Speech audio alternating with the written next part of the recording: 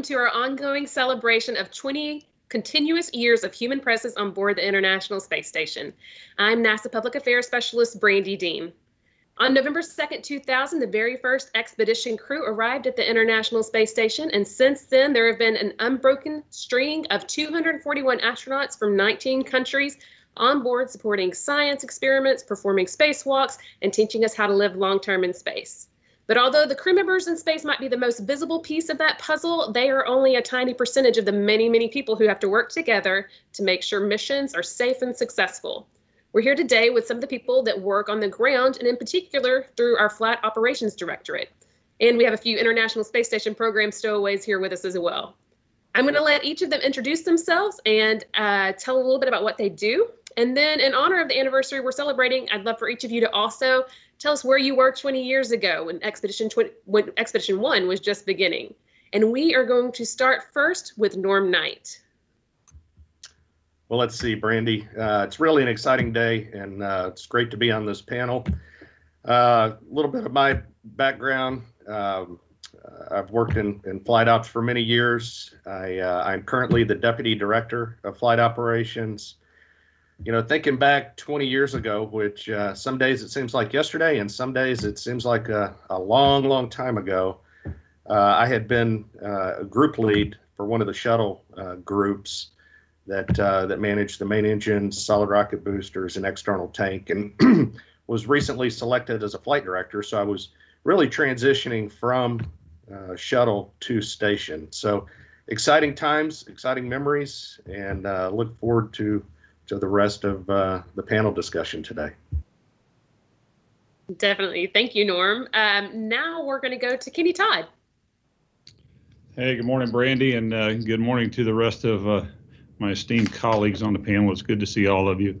Um, I am I'm the uh, deputy program manager for the International Space Station. Um, have been for a number of years here, but uh, work very closely with uh, with the entire flight operations community and and have done so for for for close to the last uh, 20 years now. Um, when I think back to where we were, uh, where I was 20 years ago, uh, obviously I wasn't in this position, but at the time, my focus was over in avionics and software. And uh, one of the biggest challenges for a program such as this one, where you have hardware, you know, literally being built all over the United States and, and in other parts of the world um, by by different countries, uh, one of the challenges was trying to figure out how to integrate all that hardware and software, and there was a big, big effort in that that time frame uh, back uh, back ending the last century uh, when we were really uh, starting to to get this program off the ground and, and in orbit. And so at that time, uh, I, I, had one camp uh, working working real time operations on the avionics and software side, and um, uh, making sure everything was going okay on orbit as we as we started to bring up these different systems. And at the same time, uh, I was off uh, trying to figure out the next flights in the queue and how to make sure that uh, that that we were all going to be good to go, and trying to find problems on the ground so we didn't have to find them and and give them to these to these flight directors later on when they have to to deal with them. And again, good to see everybody. I'm sure they appreciate that early work. Uh, next up is Holly Ridings.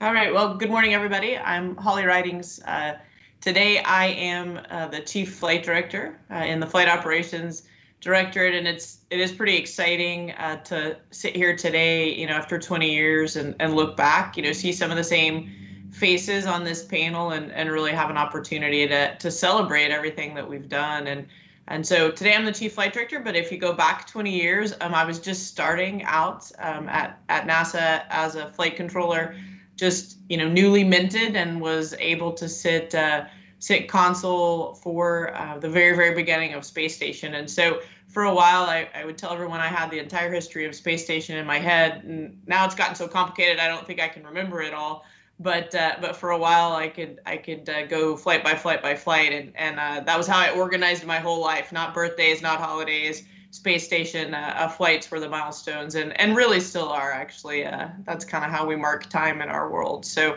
um, super exciting to be here and hope you enjoy what we talk about today. Thank you. Next, let's go to Emily Nelson.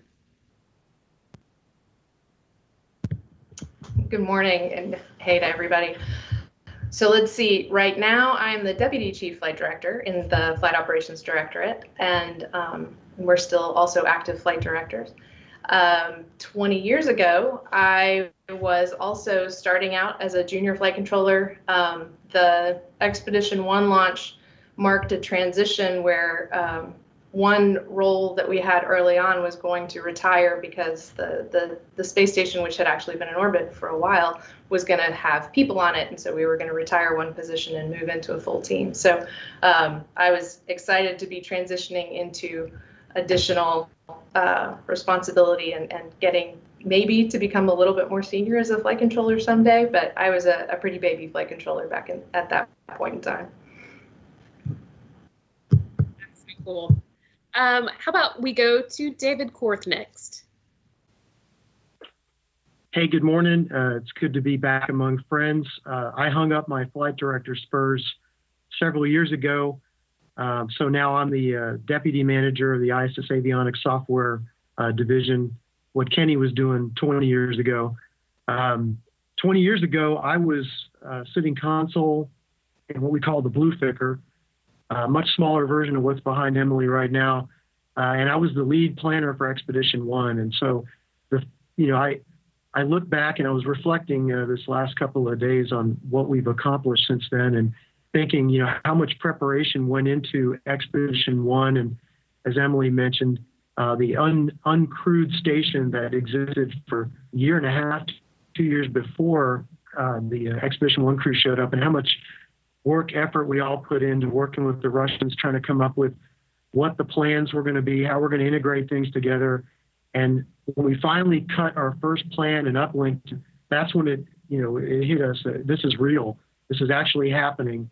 Um, so, uh, and and clearly a lot has transpired, uh, both with all of our partners and uh, the vehicle itself, and and the evolution of operations. So I'm I'm glad to be part of this group today. Must have been such an exciting time. Uh, finally, we're going to go to Pooja Jesrani. All right, good morning, everyone. I'm happy to be here with all of you. Um, like Brandi mentioned, uh, my name is Pooja Jesrani, and I am a flight director. Um, I was selected in 2018, so I'm one of the newer flight directors in our office. I was selected with five others, uh, making a class of six, and so I am the you know one of the baby flight directors, you would say, uh, but have had a lot of experience now at NASA. At, in 2011, sorry, I should say in 2000, I was um, in 11th grade.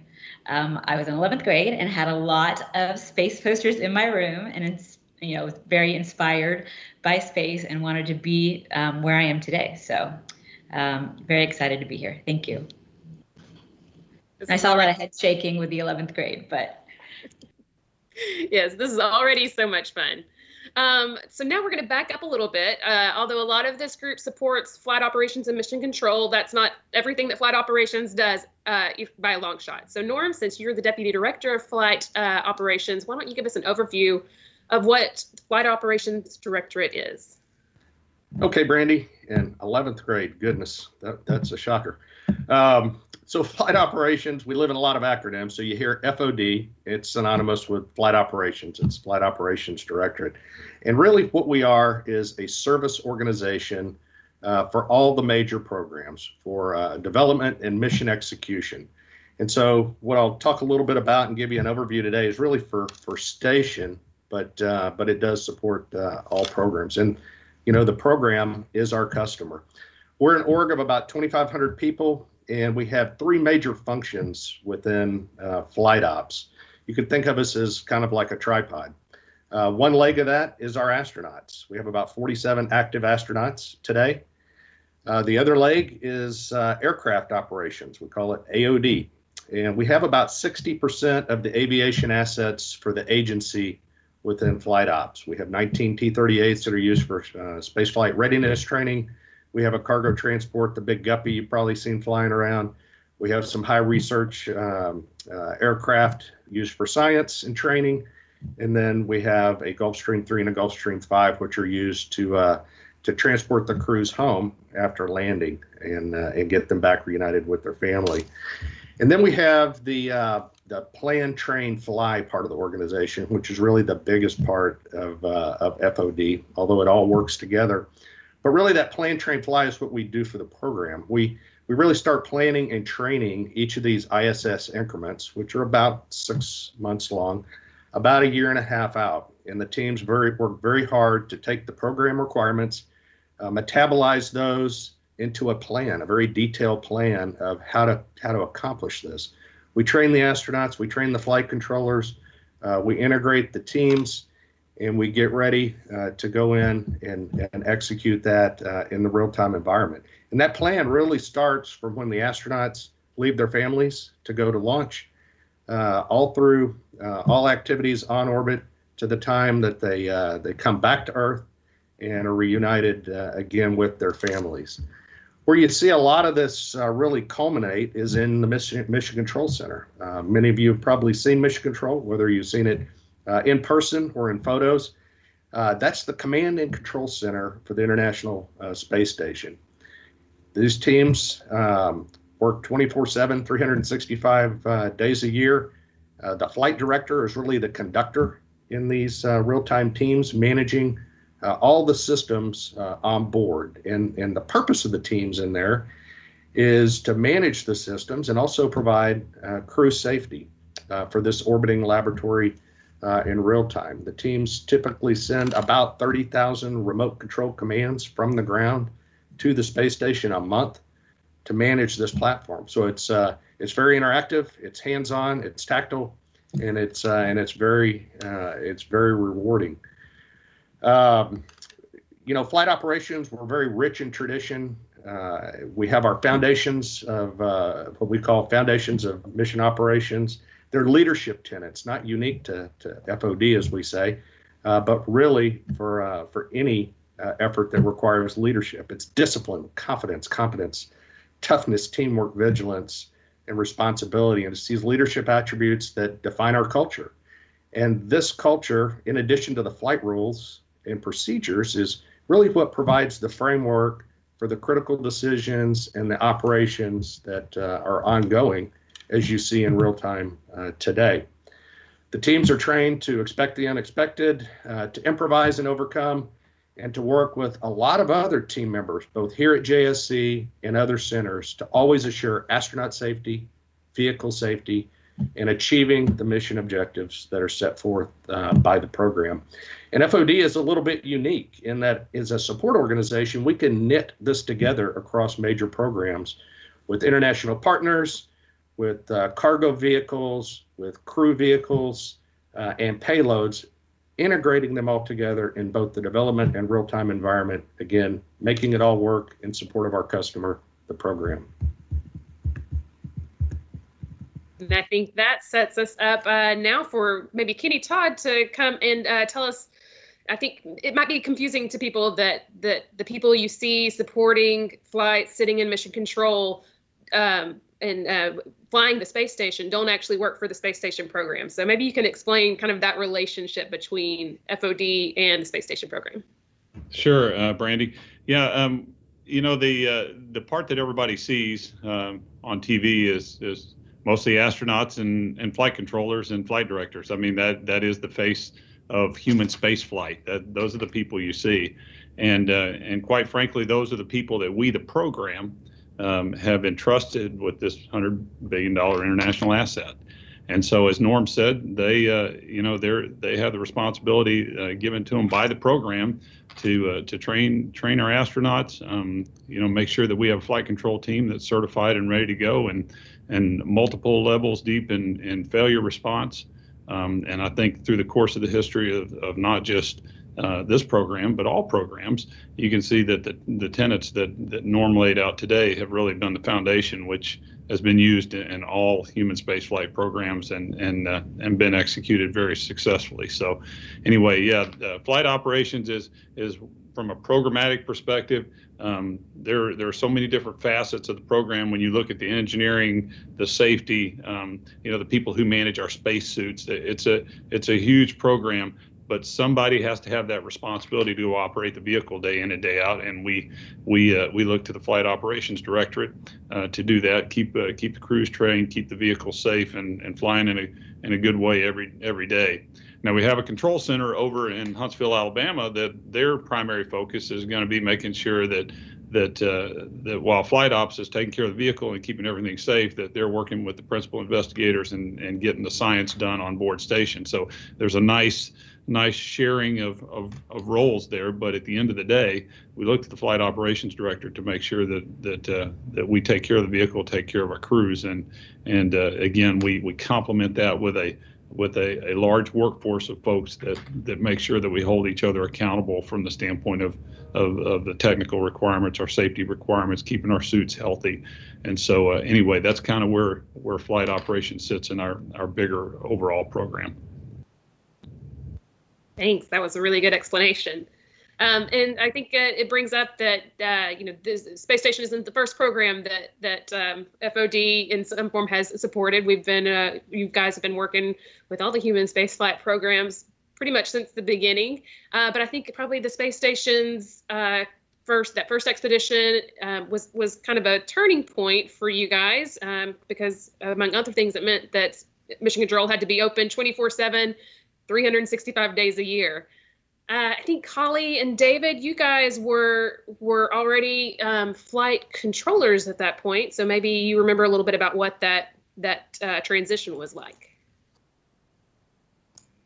Yeah, so maybe I'll go I'll go first, and then I'll, I'll hand to David because I think our perspectives are maybe a, a little bit different, right? So I I came in um, right when we were building up the the team of folks, the flight control team that would work the space station, and so you know, I I I didn't start on the shuttle side and then transition over like uh, like Norm and, and Dave's got some experience as well. So to me, you know, the the 24/7 365 is is really the only world I've ever known. And and we supported from the space station side, you know, round the clock and then obviously when the shuttle came up and docked and we did joint missions together and really laying the foundation for so many ways that we partner with all of our international partners and then now our commercial partners as well. And so, you know, I, I was lucky enough to come and, and be some of the very first people to get certified on the on the space station side and learned the ropes from that perspective. And um,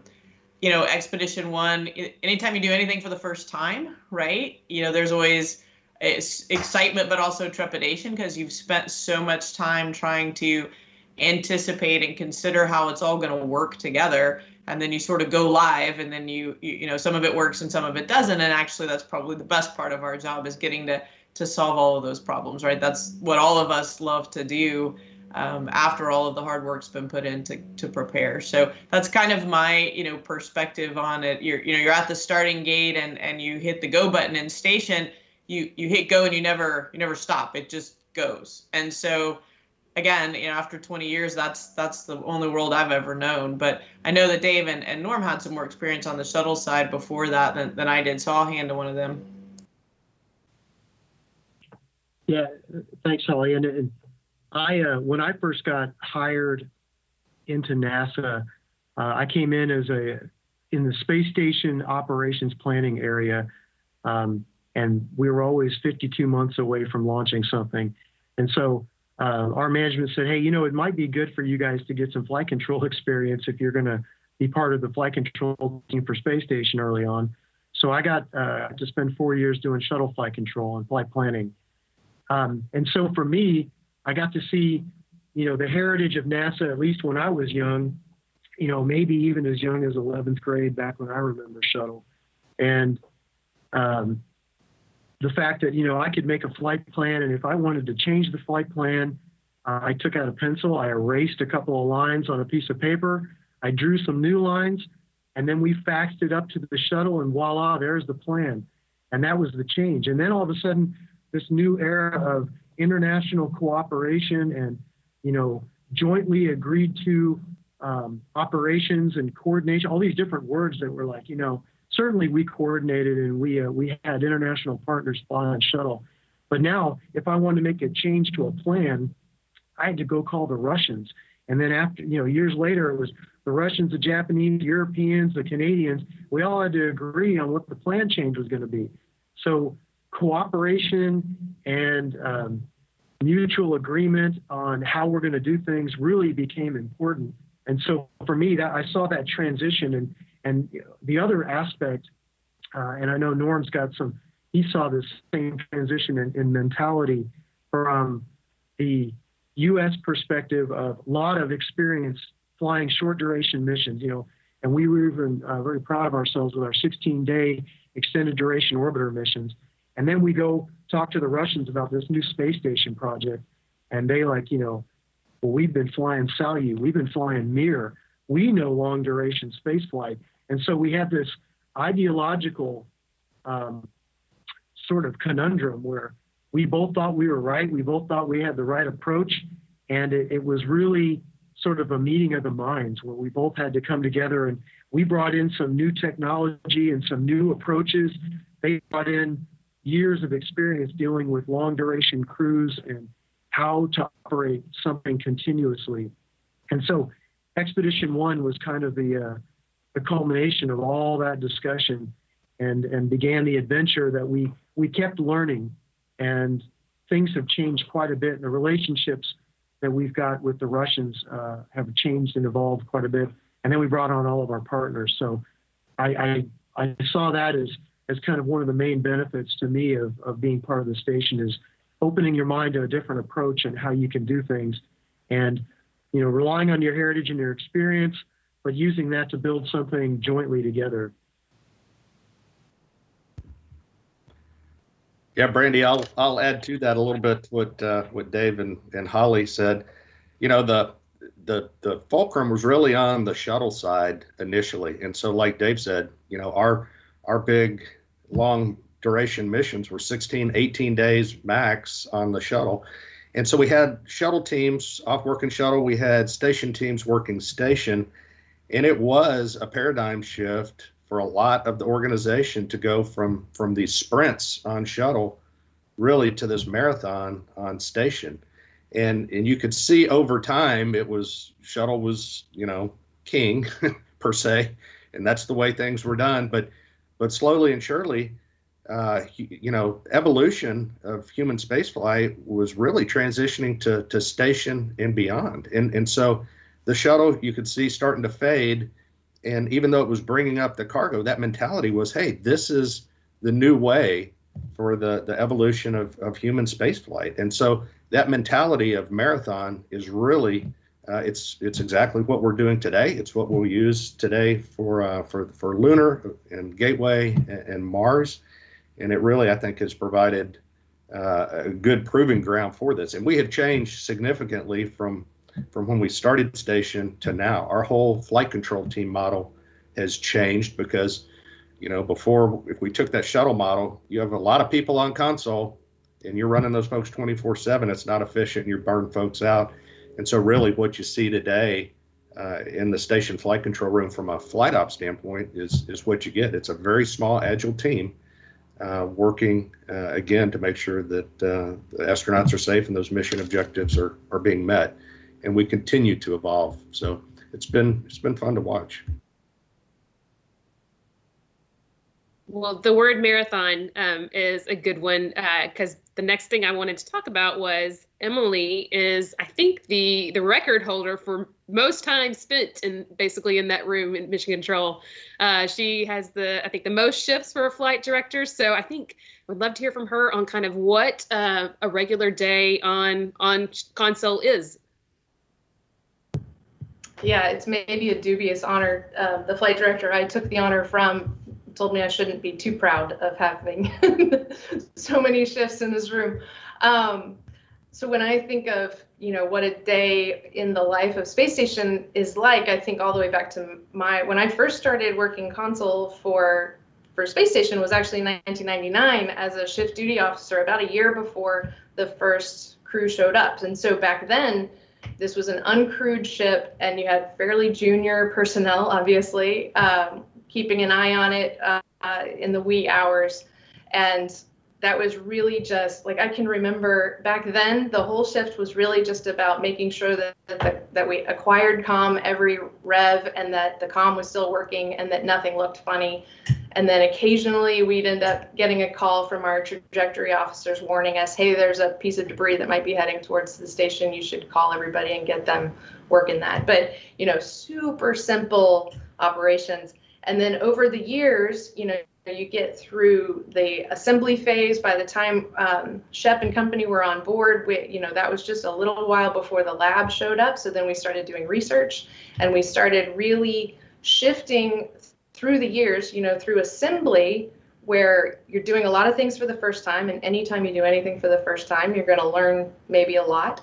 Um, and you're putting new systems on board and you're learning about those systems and you're you're building this space station one piece at a time every couple of months until you get to a point where you kind of call it assembly complete at that point now for many years we've been using this amazing platform for for research this is our orbiting research platform and so a normal day today looks really different from a normal day on any one of those 21 years along the, the path. Um, we are supporting our crew members as they're executing a lot of, of, research projects. Those research projects are different every month. We have a seemingly never-ending stream of new research that's coming online and and getting to orbit and and then coming back home and getting replaced by more. Um, occasionally, we'll have some systems that aren't behaving themselves, and so our teams will have to sort through those things. Um, occasionally, research doesn't go exactly as we planned, and so our team in Huntsville will have to work with the crew to sort out why it's not working the way it's supposed to and see what we can do that will still accomplish some science while working around whatever challenges we have. Occasionally, our international partner friends will have issues on their sides of the space station, and so we'll coordinate with them as they're working through the challenges to get their systems back online.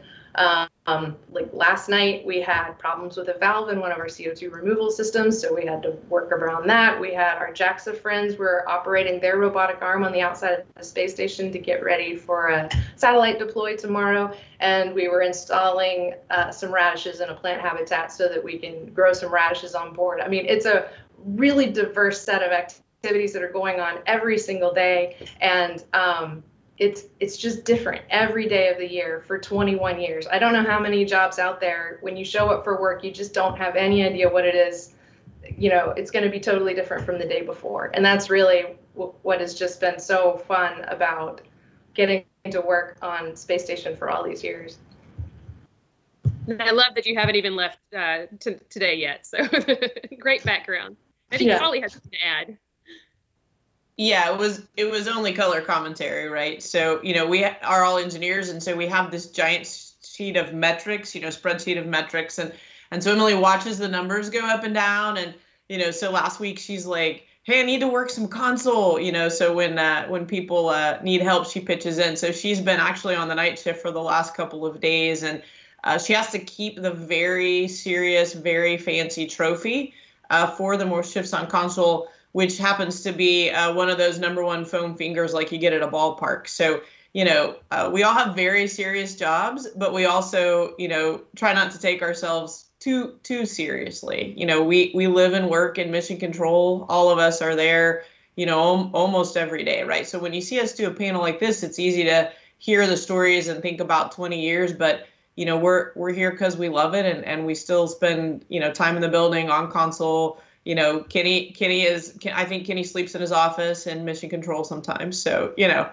anyway, I just uh, just thought I would uh, throw in a little bit of color commentary. So that's it. That's perfect. I I love that a foam finger for your trophy. Um, so for those who would aspire to such greatness. Um, earlier this year, we had a call for applications for new flight directors.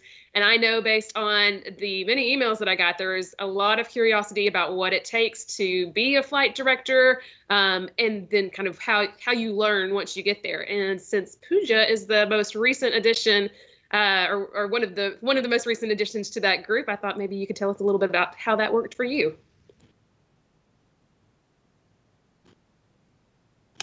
Sure, absolutely. So, um, my story for becoming a flight director was that I actually interned at NASA uh, back in 2006, 2007, and then came back on full time in one of the flight control groups for the International Space Station. I worked in the ADCO group, which is in charge of the way the International Space Station basically flies around the Earth. Um, I was in that group for about 10 years uh, before I was selected to be a CAPCOM, which is a capsule communicator. Uh, a CAPCOM is a person is the person that talks to the astronauts on board the International Space Station. Um, I did that role uh, again then for a few years, um, and then applied to be a flight director for the International Space Station. I was selected in 2018. Um, once I was selected. Um, we went through about a year's worth of training uh, to get certified to sit on console. Uh, in that year's worth of training, we took a myriad of classes, basically all the classes that the astronauts actually take uh, before they fly on station, um, as well as we did a bunch of simulations. Um, and those simulations really tested the worst day ISS scenarios. Uh, and we really hope that those scenarios never happen in real time, uh, but those scenarios really prepare us for those days on consoles where things don't go as smoothly as planned. Um, so once we got to go through all the train classes as well as the simulation. Uh, we sat on console and did uh, real-time OJT to really learn the ropes of what happens um, every day on the International Space Station. And after that real-time OJT was complete, uh, we were signed off by our chief of the flight director office uh, to sit our first shift on console, uh, which was a really memorable day for me because I was able to invite uh, my family and friends um, to to attend my first shift um, and sort of naming ceremony. Uh, so you you've got to tell us now, and I probably we should go around the group. What what name did you give your your? Uh, I, am not sure even what you call the the, the down our there. Team, yeah, sure. Our team name. Um, so I my team name um, is Unity, and I am the 94th flight director um, in the flight director office. And so I'll let you go around the horn.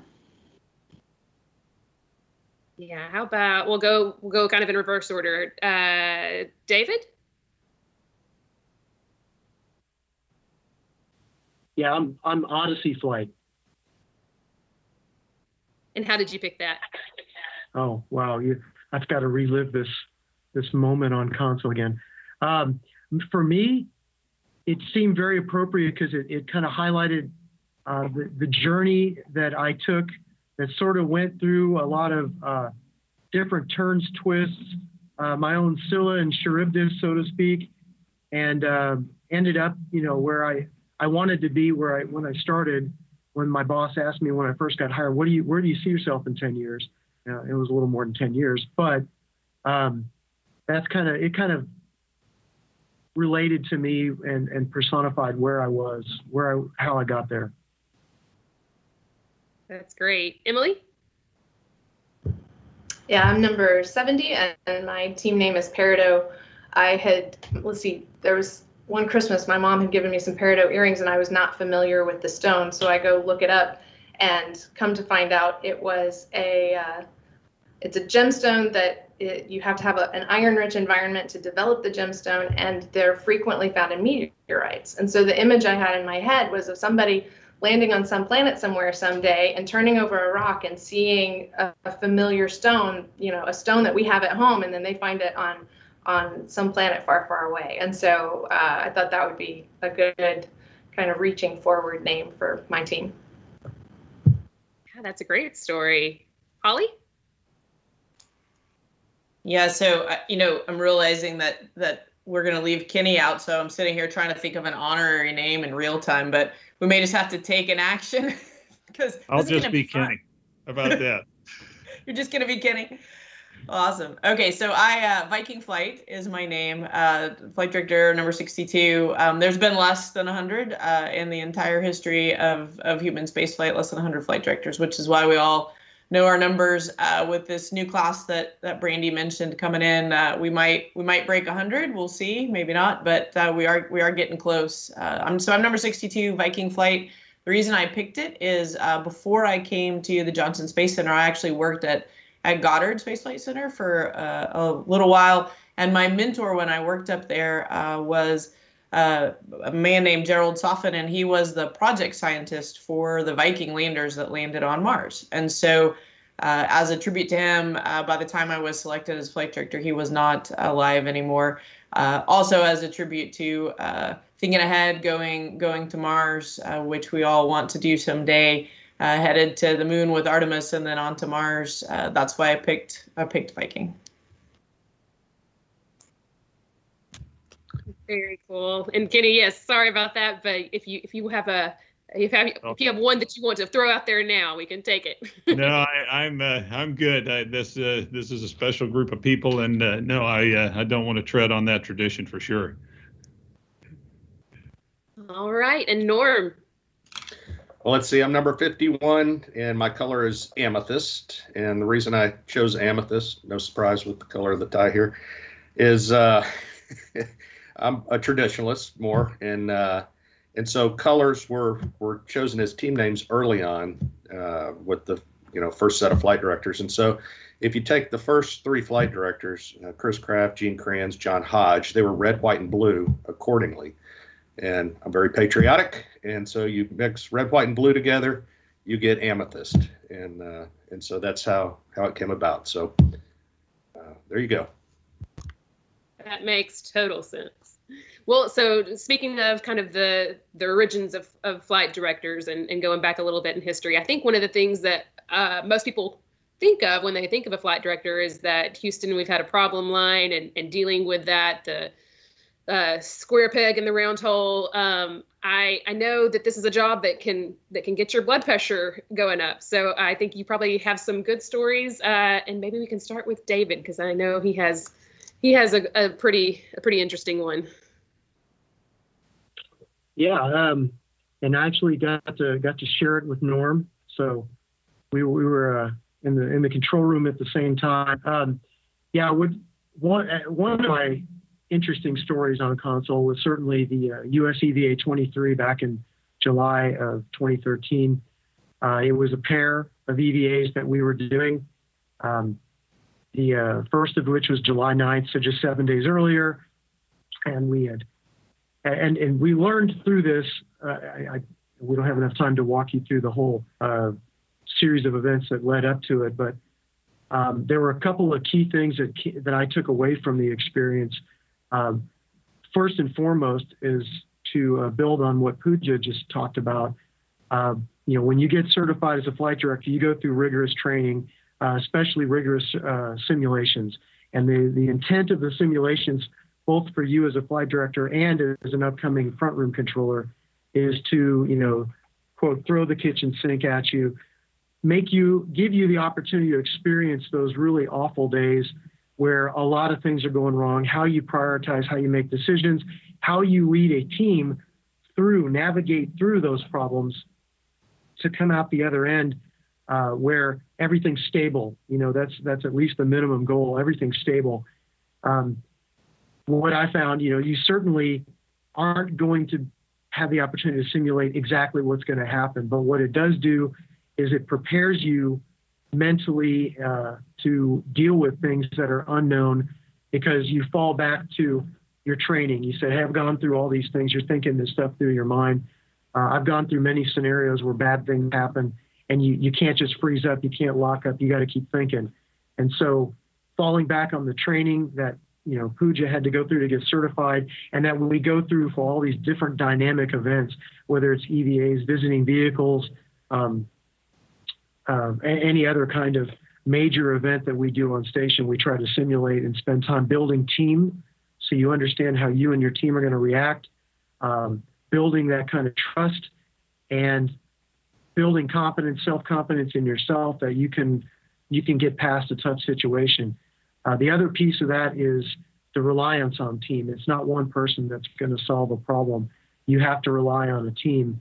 Um, and to extend that, you know, this particular EVA, uh, we had two astronauts outside, Chris Cassidy, who just returned home from his second expedition, uh, and Luca Parmitano, an ESA Italian astronaut, who also uh, came back from station for his second tour uh, not long ago. So, kind of the end of the story is it all ended well because uh, they went back. But um, at the time, what what, uh, what we learned is that you know our international partners, we had an EVA with two people, one international, one U.S., and they they had absolute and implicit trust in the U.S. flight control team to lead an EVA and to resolve problems.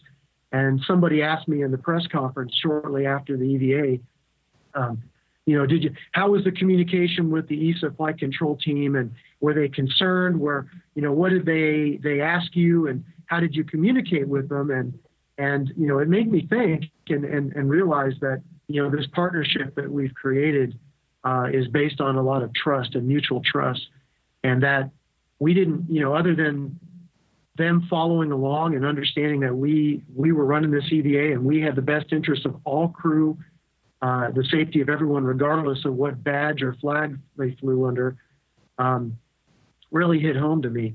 Um, so the the event itself, uh, it took a you know we we terminated an EVA an hour and uh, just over an hour into an EVA with something that did not appear at first to life threatening and after it was after we we declared termination that um, the event started to go downhill quickly, and and you know there there was a little luck involved uh, that we terminated when we did, and that the EVA itself was set up to where the astronauts were not as far away from the airlock as they could have been had this event occurred later in that same EVA, where both going different parts of the station and would taken them longer to get back to the airlock um, it was certainly traumatic. And then certainly when we got back into the airlock and we got the helmet off, uh, an hour and 41 minutes PET or phase elapsed time, uh, you could see all the astronauts on the station, our Russian colleagues, everybody in the airlock doing what they could to help get that helmet off. The goal was get that helmet off as quickly as you can.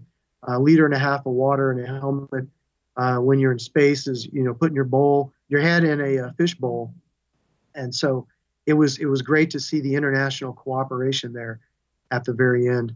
Um, I also had the pleasure of working uh, HTV3 with Holly. Uh, that was the uh, Kounotori 3 Japanese um, uh, cargo mission that ended up aborting when we uh, released it. It was one of those that we berthed, we brought it in and berthed it to uh, the Node 2 Nadir, and then we released it with the robotic arm.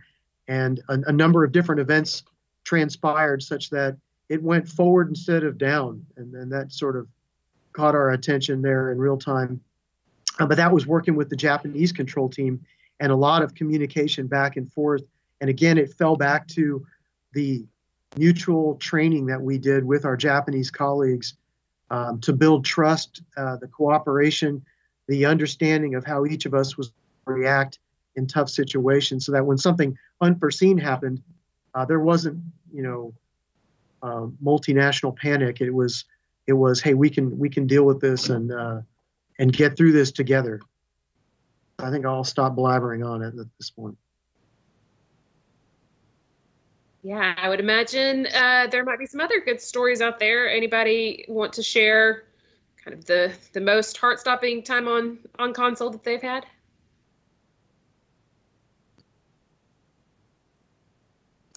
Yeah, I, I'll do a quick one, right? So, um, was on console early on as a flight director, um, and we were bringing a, a, progress vehicle into the space station. Um, and so, typically, that's an uncrewed, uh, you know, cargo vehicle. The Russians build uh, comes up to flies up to the space station automatically.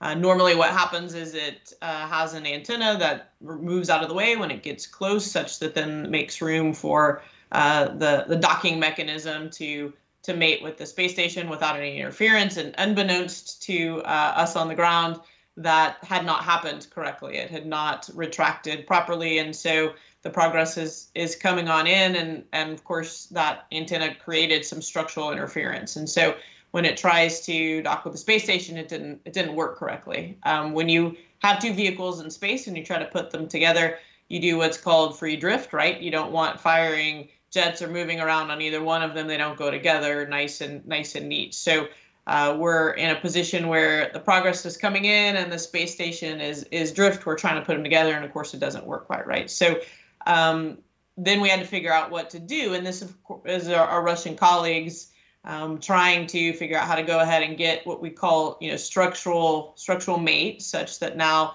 we can start firing the thrusters again. You know, have attitude control of the of the space station, and so you know that story may not sound uh, you know sort of yeah, sort of adrenaline pumping, maybe when I when I tell it very technically like that, but um, this is not something that that happens. Uh, typically, we rendezvous lots of vehicles to the space station. Um, it usually goes really well, and so having one where you're unable to uh, finish completing the docking, but also not be able to get off the space station because you've kind of got this this incomplete mating. Now you've got your space station in in drift. Uh, if you stay that way too long, um, you're not pointed in the right direction. You don't have power um, you don't have communication, and so that situation can start to uh, start to go badly fairly quickly. And so, you know, as Dave was pointing out, it's a it's a team thing, and in this particular case, you know, our, our Russian colleagues worked closely with us to figure out to figure out what to do. Um, you've got the safety of the crew on board. That's the most important thing you're thinking of in that situation, and wanting to get the space station, you know, back to a a place that's that's safe for them in, in terms of power and consumables and and and obviously this this structural mating that's going on so sometimes things go go wrong and you have to figure out what to do in that particular case we got uh, we got enough structural uh, mating that we were able to do the there's hooks clamps that kind of pull the two uh, two vehicles together and get back into a, a safe state um, but it was very uh, sort of adrenaline adrenaline inducing for a period of time while we figured out what to do. And you know, Brandi always asks these questions, and we're all trained to tell them in these like super dry, boring voices, you know, because that's what we do on console when things go wrong. And I'm not sure it quite it quite conveys. Uh, you know the the situation to to folks out there uh, but you know i decided i'd try a little bit so hopefully people understand that uh, you know that's our equivalent of heart pounding where we have these very calm faces and sort of monotone tones because that's that's what we're trained to do. Yeah, and just to add some color commentary to that one, um, I remember that day because I was with a team that was doing a training run upstairs, and word spread that because it, was pretty unusual for a progress to not dock totally normally, and so word had spread upstairs into this, and we pretty much just like everybody took a pause and we moved our data from our simulation training data to the real-time data to just kind of follow along, you know, with bated breath from upstairs to see what, what are they going to do? How are they going to solve the problem? You know, we had a whole team that was following along that really, it was, it, yes, when you describe it technically and in the moment, you can't get all, you know, we don't make it a big exciting event. But I will tell you that from another room in the building having nothing whatsoever to do with the op, we were all watching because it was a, a kind of a really scary event. And I'll uh, let's see, Brandi. I'll I'll jump in kind of from a, a, program perspective. I don't I don't sit and do the do the actual console work, but um, you know I, I look at from a programmatic perspective. We've asked the flight ops team, uh, you know, take care of the crew, take care of the ISS, um, and if something goes wrong, you know, my perspective is get us through the shift, get us stable, and then we'll step back as an integrated group, take a look and see what our options are, try to figure out how to go how to go forward. And um, at least one of the examples that I can think of, and maybe maybe one of y'all can help me remember. For some reason, it was I think it was 12A or 13A. We had a shuttle shuttle dock to station, and um, uh, for whatever reason, the Russians had a computer failure, and uh, we thought, oh, no big deal. And then they had another computer failure, and you're like, well, that's um, you know, unfortunate for those guys. And then you realize, well, that's really unfortunate for all of us because uh, because we need them in order to be able to um, stabilize the station so that shuttle can leave. And we had absolutely no clue as to what happened with the Russian computers. The Russians didn't really have a good understanding. Uh, there was um, um, there was a lot of um, concern. I'll put it that way because we were really in a situation where we couldn't keep shuttle forever, trying to figure out what to do. Um, we were uh, concerned about overall maintaining attitude control. Um, should we try to undock and not have these computers that could control the propulsive systems? Pooja, you probably remember this, but anyway. Um, so uh, anyway, I just remember that was a, a, uh, very concerning time for us at the program level because we were still building station. You know, we were still quite a ways from being done. And uh, to have a problem like this, where you're really looking at each other, going, "How are we going to get out of this?" I mean, this this could uh, uh, you know, be a, a, step in a very bad direction if uh, if we try to let a shuttle go and not have a, a, good way of ensuring that we can clear it from the station without any kind of a, a contact. So it was um, at least um, uh, over a period of days. It was it was something I think a lot of us lost sleep over, uh, working with the entire team, engineering, uh, our operations team, our safety communities, um, our partners, our Russian partners, trying to figure out because it wasn't just as simple as rebooting uh, that computer and bringing it back up. That it was a, a, much more involved technical issue that. Uh, uh, again, kind of felt like it brought us to our knees there for a period of days, and I assume some of you might might have remembered that one. Yeah, so I'll, I'll pick up for just a few minutes because I was actually on console. I worked that I worked that mission from the flight director console. It was actually my very first joint, you know, joint mission. So I'd been certified before that and had worked space station shifts, but that was my first first joint mission on the on the ISS flight director team. So I came in, I was the the crew overnight shift. We put the crew to bed and I came in and and the lead of of uh, of our team said, "Well, we're in free drift and we can't figure out how to get out of it. Um, we needed the the computers on the space station to work and then be able to hand back and forth in terms of the shuttle taking overall control of the of the combined space station shuttle. Um, but we were trying to get back to where the space station, you know, took took control of that. Like Kenny said, we couldn't couldn't have the shuttle do that forever. Um, and so I came in and we're free drift and and we don't know how to get out of it. But here's here's the lesson I learned, right? So one of the more senior uh, flight directors was the lead, and she looked at me and said, "Okay, so while we're figuring out how to get out of free drift, you know what what else can you do?" We actually needed to move the mobile transporter, which is um, a piece of equipment where the robotic arm can ride up and down the length of the space station to set up for an operation the next day. So you know, as a new flight director, you're just you're kind of like, okay, here's our problem. You know, she was looking up and out like, hey, let's keep moving forward safely while we're still solving this really bad problem over here. You know, and it was in my early flight director career one of the the most important lessons that I've learned. What can you do to move forward, even when faced with a problem that right now you don't know how to solve? How do you move forward you know, safely, of course. And so we moved the mobile transporter because we had to be free drift to do that anyway. We happen to already be free drift while we're over here trying to figure out how to solve the problem. The other piece of that is when you have a problem that big, everyone just shows up. Like it's amazing. You don't have to make phone calls. People just know. Like Emily was saying earlier, the team in the other room's looking at the data. Everybody's at home watching NASA TV. You know, people are getting things on their phones now more than they used to because phones are a little more more uh, uh, prevalent now. But but the data just gets out, and people just show up. What can I do to help? And and we formulate what's called a team four, where you have a another set of folks go really really focus on that problem, leaving us in the control room again to continue flying the mission as much progress as we could make safely. So you know those are like two of my biggest flight director lessons that that I carry with me from from that specific uh, incident that uh, that Kenny brought up. I'll just, add one, I'll just add one quick thing. So I actually started at NASA about two weeks after that shuttle flight. And it was the biggest buzz in town. I mean, the amount of conversations that happened after that shuttle flight and all the things that the team had done to recover. I mean, that was sort of my getting my feet wet uh, and really learning all about what FOD does. It, it was a great experience to start um, learning from.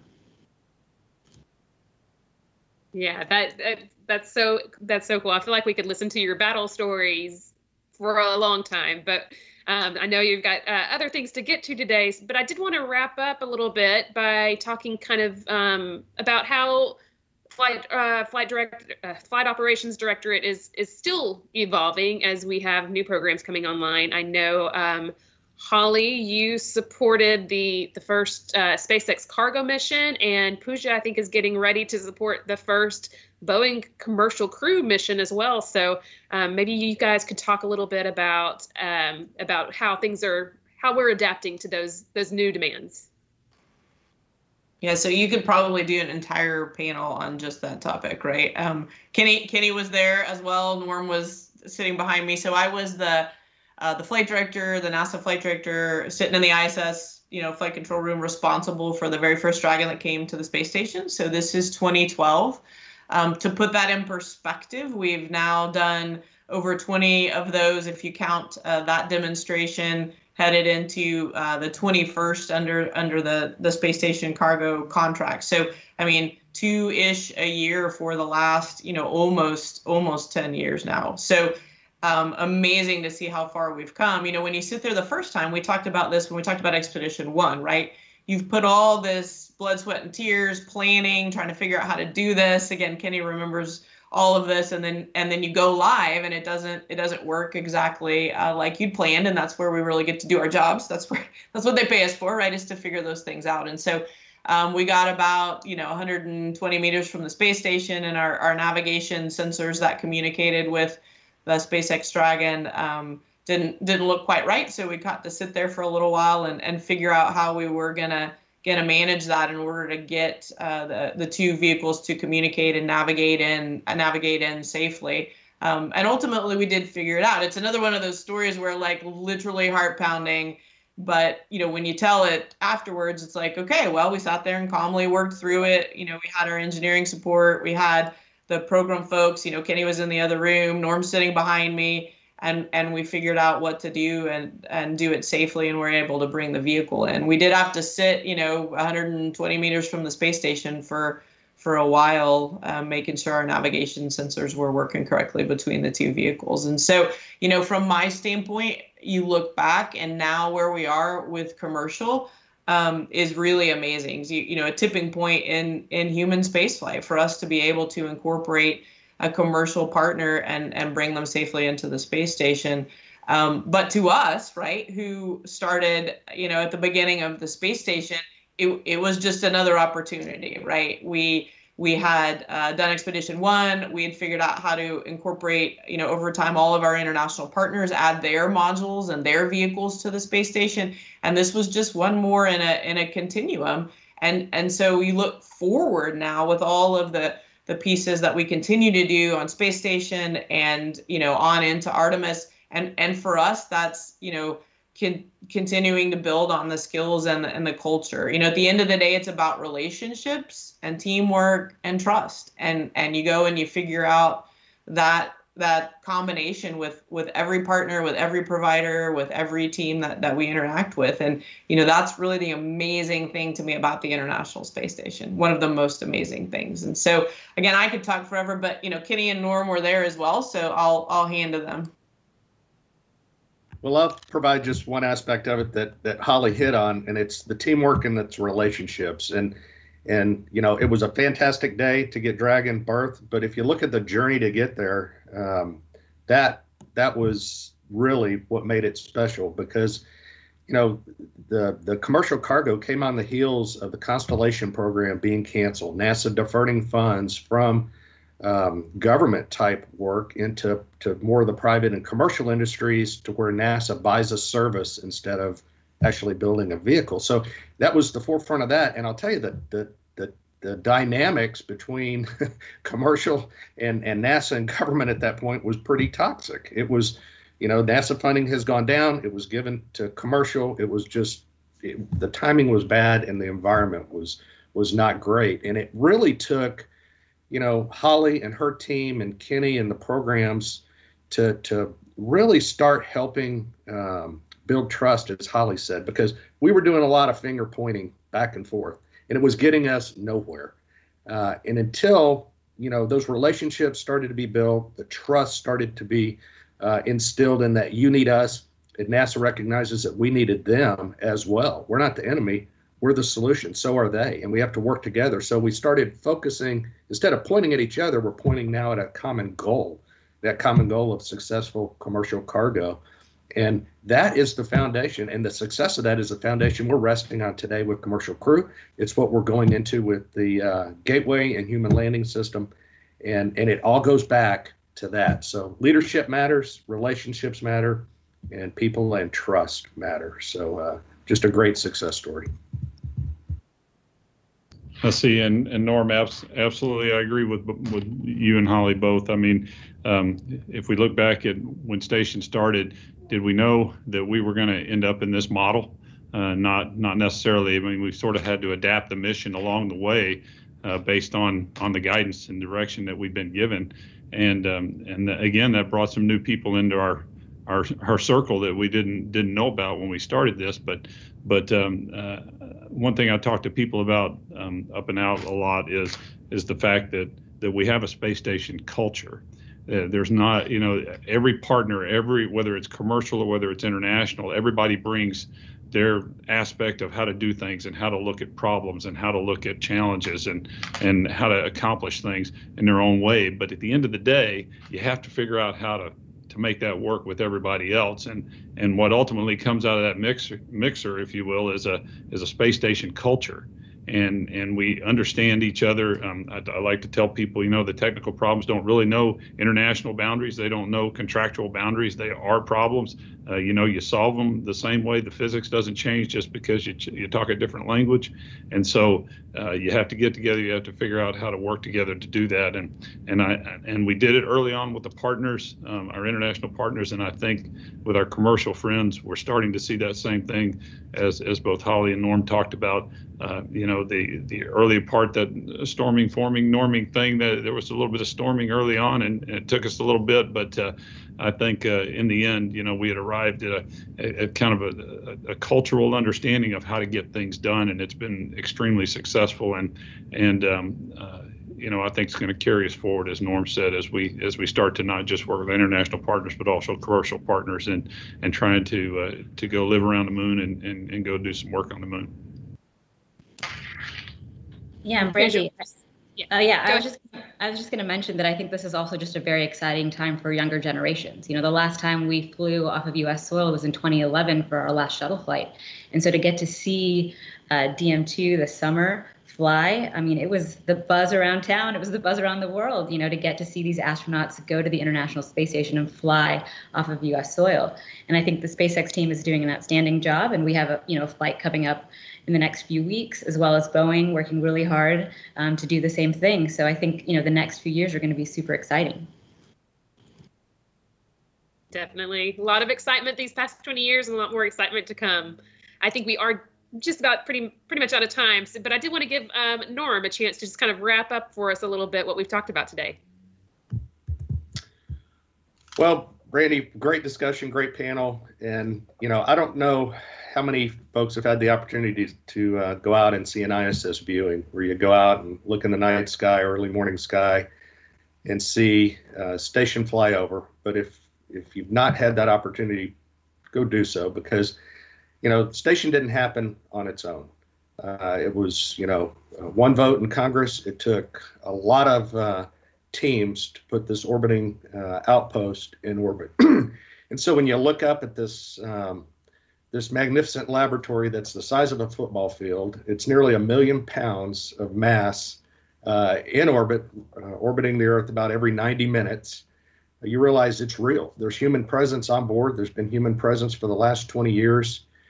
And, you know, it really is an engineering marvel. And, and to me, miracles, uh, you know, miracles do happen when you have a vision uh, you provide the leadership, the perseverance, the political support, and and teams that manage this thing day in and day out, and have been doing that for the past 20 years. It's it's incredible, and you know it's a great orbiting uh, laboratory for science and research, and it's also being used as a great um, uh, platform for developing hardware that's going to evolve us to the moon and Mars and beyond. So this is amazing. 20 years has gone by in a blink of an eye. Uh, but the relationships and the teams that have made this all happen are what's uh, going to evolve us uh, to getting on the moon by 2024 and making that a reality as well. So I think I can speak for all of us that, you know, being part of this is just really special and uh, just really glad to be here today with our friends and see uh, just what this has become and how it's evolving even into the future. So I'll leave you with that. Thank you so much, Norm. That's a great idea. Definitely go out and wave at Kate, Sergey, and Sergey as they are flying over. And then uh, later this month, you'll get a chance to cheer on the Crew One crew as they launch to the space station on our SpaceX Dragon as well. Um, this is just the second in a series of six panels, so you're going to want to watch out for the rest of this series. Um, coming up is going to be all about science. That's the next one that we'll be holding, so you can watch out for that. Thank you so much for joining us today, and uh, here's to 20 more years.